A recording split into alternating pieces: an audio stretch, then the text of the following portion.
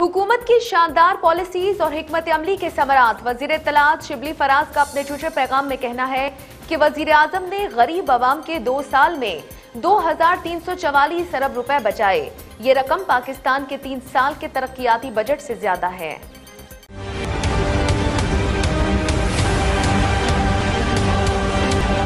वफाकी वज़ीर इतलात और नशरियात शिबली फराज ने समाजी रबते की वेबसाइट ट्विटर पर अपने ट्वीट में कहा कि वजी अजम इमरान खान ने अपनी हमत अमली और कोशिश के बायस दो साल में गरीब आवाम के दो हज़ार तीन सौ चौंतीस अरब रुपए बचाए हैं। ये रकम पाकिस्तान के तीन साल के डेवलपमेंट बजट से ज़्यादा है।